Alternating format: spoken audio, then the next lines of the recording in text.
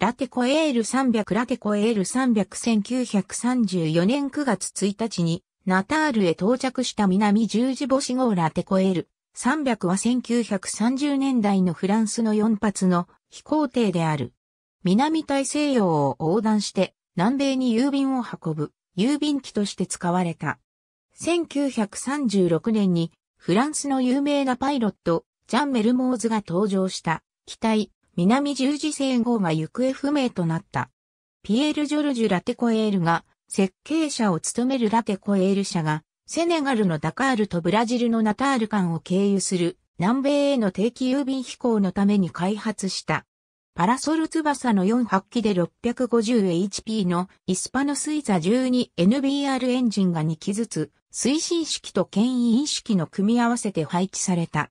最初の試作機は1931年に初飛行したが12月17日に事故で失われた。1932年に2号機が製作され、南十字星号と命名された。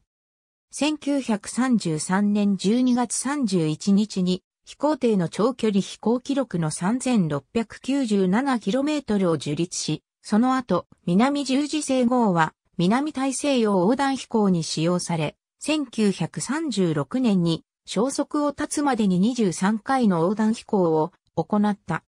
1936年12月7日、早朝、ジャン・メルモーズ、アレクサンドル・ピチョドー、ジョン・ラビダリー、ヘンリエザン、エドガー・クルーベリアが登場した南十字星号は、ウアカムを出発したが、6時頃機体の故障で出発点に戻った。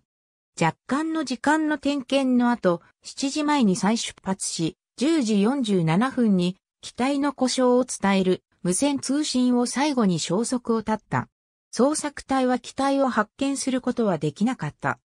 ありがとうございます。